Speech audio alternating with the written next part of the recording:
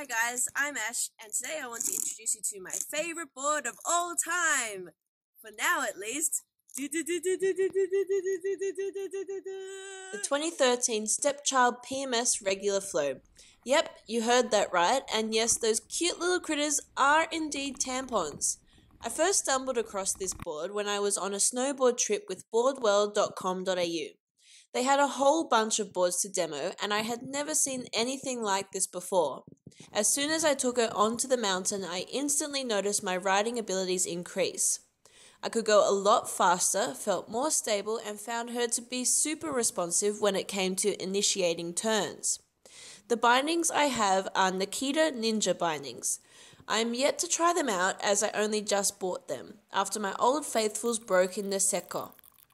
One of my favorite aspects about this board is that it has a flat base.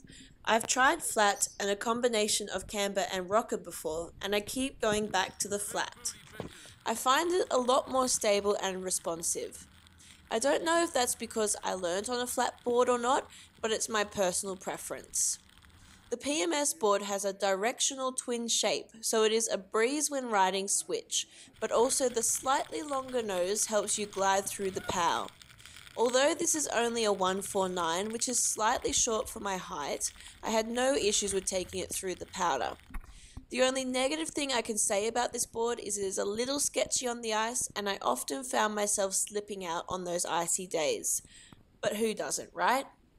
Overall, my favourite thing about the PMS board is that she is fast and reliable on the steeps, yet light enough to throw around. She is a bloody good board. I rate her 4 out of 5 fluffy bunnies.